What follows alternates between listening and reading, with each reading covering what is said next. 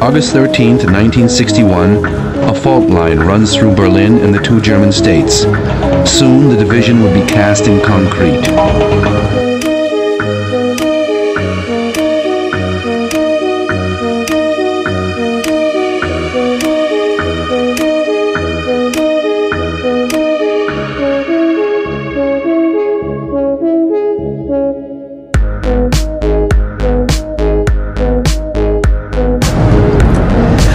Sunday, the 13th of August 1961, the inhabitants of Berlin woke up to find the city alive with construction workers.